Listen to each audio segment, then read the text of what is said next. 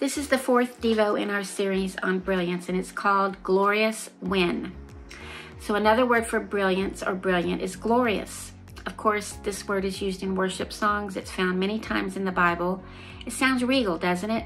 When someone exclaims that something is glorious, it enraptures us, elevates us. It's a word that's so descriptive of something so fine and exquisite that we can't describe it. It's mentioned a lot, but we're going to go back to the story of Moses. You know him. After he and the children of Israel crossed the sea where they were pursued by their enemies who drowned behind them. And they began to sing a song I will sing to the Lord, for he has triumphed gloriously. The horse and rider he threw into the sea. What a show of the glory of God when he parted the waters and invited his people to walk on dry land away from the enemy the enemy that was then destroyed behind them. What a glorious triumph. Think about sports, which is everywhere in our culture. Think about a win. If the score is close, we wouldn't say that we triumphed gloriously, but maybe more like we won by the skin of our teeth.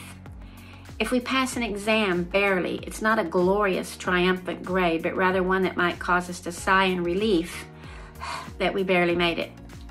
Triumphing, triumphing gloriously is nothing short of miraculous.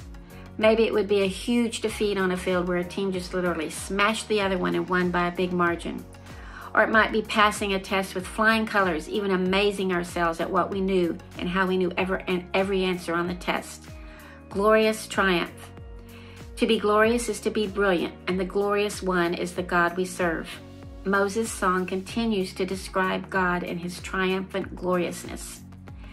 Pharaoh's chariots and his men were sunk. Floods covered them and they went down like stones. The enemy was shattered. No small margin of getting by, but God destroyed the enemy in a big way, a glorious defeat. In verses 7, it says, The greatness of your majesty or brilliance is that the adversaries were overthrown. Imagine a wrestling match where one opponent is thrown to the ground, pinned down, and never to rise again.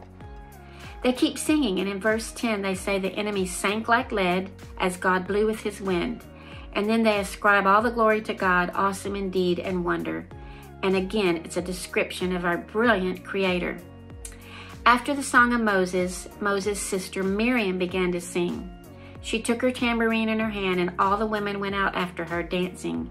And she said, Sing to the Lord, for he has triumphed gloriously, the horse and rider threw into the sea. It's so important for us to see the greatness of God and his glory. He's not a God that helps us barely win, he slaughters the enemy. I love listening to sportscasters and all the verbs they use when they describe a win when they're de- describing the scores. Slammed, slaughtered, defeated, smashed, smeared. You've heard them. This is the essence of what we're reading here we realize the glorious triumph of God and how He defeats everything that pursues us. He's brilliant in His wins. In fact, He's already defeated our biggest enemy, death. He conquered it and gave us eternal life. But all the skirmishes we have daily, He also triumphs gloriously, and we need to realize that no enemy can stand at the blast of His nostrils as He sends the winds to drive back those that dare to come against us when we are en route following our God. So next time you feel defeated or pursued, start using all the adjectives you can think of to ascribe the glory of God's triumphs in your life. Start with A and go through the alphabet. He defeats, he throws, he sinks, he shatters. In other words, he causes the enemy not to just retreat, but to disappear for good.